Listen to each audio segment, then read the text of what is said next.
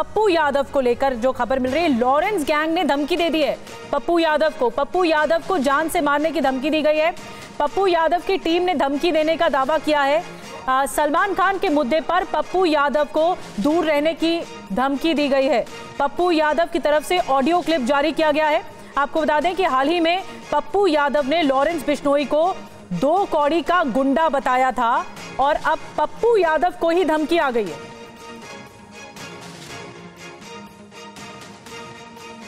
और रुपेश हमें और ज़्यादा जानकारी दे रहे हैं। रुपेश, क्या कुछ जानकारी मिली है? पप्पू यादव की तरफ़ से एक ऑडियो क्लिप जारी की गई है और लॉरेंस गैंग की तरफ़ से धमकी दी गई है।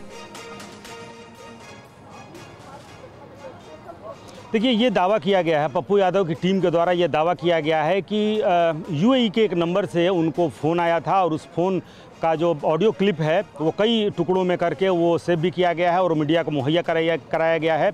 उसमें कई धमकी भरी भरी बातें उसमें हैं। लेकिन इसके अलावा एक पोस्ट भी, एक मयंक सिंह नाम के व्यक्ति ने एक पोस्ट किया है, जिसमें कहा है कि, पप्पू यादव, तुम इधर उधर की बिश्नोई भाई के बारे में तुम ज़्यादा बातें नहीं करो, वरना तुम rest of rest in peace कर दिए जाओगे। शांत रहो, वरना तुम शांत कर दिए जाओगे। इस तरह की उन्होंने पोस्ट करके धक करके धमकी दी है। लेकिन यूएई के नंबर से जो फ़ोन कॉल आया था, पप्पू यादव के मोबाइल नंबर पर फ़ोन आया था और उस मोबाइल पर जो वार्तालाप हुई है दोनों के बीच, वो वार्तालाप को सेव करके और दिया गया है पप्पू यादव की टीम के द्वारा। और ये कहा जा रहा है कि पप्पू यादव ने जिस तरीके से पहले कहा था कि दो कौड़ी के गुंडा है लॉरेंस बिश्नोई उससे डरने की ज़रूरत नहीं है। और वो आनंद फानन में उसके बाद से चले गए थे मुंबई। मुंबई उन्होंने बाबा सिद्दीकी के बेटे से वहाँ पर मुलाकात की थी और वहीं से उन्होंने सलमान खान से काफ़ी देर तक उन्होंने बातचीत की थी। कुल मिलाकर के पप्पू यादव ने जो पिछले दिनों जो चाहे वो जो बयान दिया या फिर उनका जो एक्शन था वो मुंबई चले गए। सलमान खान से वार्तालाप बाबा सिद्दीकी के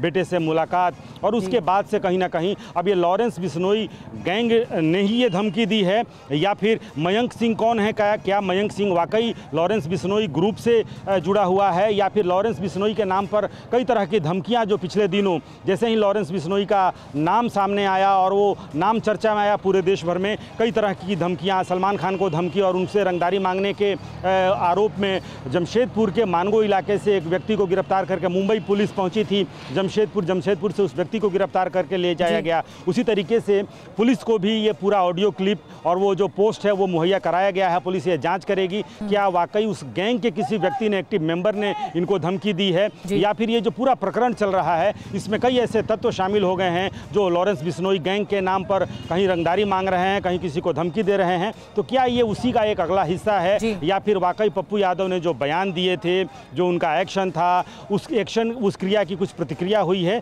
और लॉरेंस बिश्नोई गैंग से जुड़े हुए उनके लोगों ने इनको वाकई धमकी दी है। बड़ी जानकारी दे रहे हैं रूपेश हमें और आज पटना में ज़बरदस्त हलचल है। तीन बड़ी खबरें रूपेश हम तक पहुँचा रहे हैं और सबसे बड़ी बात ये पप्पू यादव को जो धमकी आई है ऑडियो क्लिप के ज़रिए जब जाँच होगी इसकी तब पता लगेगा कि धमकी कहाँ से आई है।